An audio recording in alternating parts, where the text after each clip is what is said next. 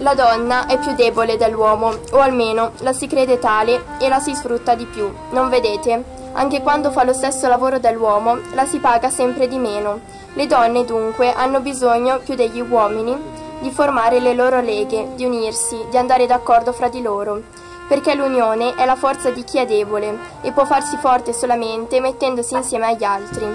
Ora che tanti uomini sono via e manca alle famiglie dei lavoratori il loro appoggio, più che mai le donne sono costrette a lavorare e a farsi sfruttare e devono quindi sentire il bisogno di stare unite. Anche per protestare contro tutte le ingiustizie e le crudeltà che oggi tutte lamentano e per prepararsi ad impedire che questo male si ripeta altre volte. E innanzitutto ringrazio il Centro Galmozzi che stamattina ha ricordato, come ormai fa da anni, Anna Adelmi e l'ha ricordato in un modo che non solo fa memoria ma riesce anche a generare impegno nei, nei ragazzi. Di conseguenza grazie, grazie anche alle Sor Optimist che mh, poi cederò la, la, parola alla dottoressa Rotta Gentile, hanno veramente mh, spinto affinché questo vicolo molto importante per il quartiere venisse intitolato ad Anna Delmi. Mh, procureremo anche una targa nella quale verrà descritta anche tutta, eh, tutta quella che è stata l'attività di, di questa breve ma intensissima vita. Questo vicolo è fondamentale non solo poiché è di passaggio, ma anche perché, come, come sapete, c'è l'entrata ad una scuola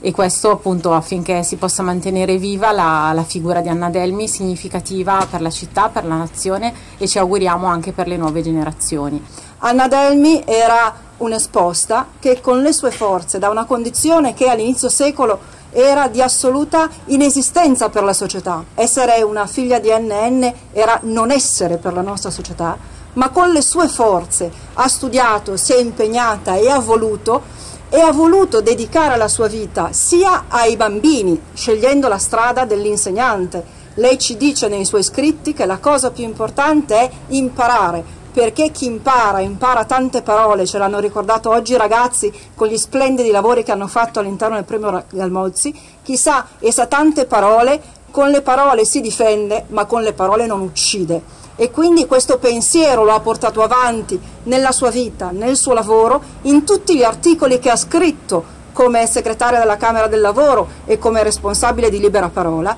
e ci ha lasciato grandi insegnamenti di pace, di forza, di volontà e di determinazione nei suoi obiettivi. Ed è quindi con gioia che abbiamo eh, sentito l'appoggio del Comune nel voler intitolare la strada a questa nostra concittadina che così tanto ha fatto, così tanto ci ha insegnato o così tanto ancora oggi ci insegna col suo esempio che possia, speriamo possa essere esempio per tutti e anche per le future generazioni che di qua potranno passare.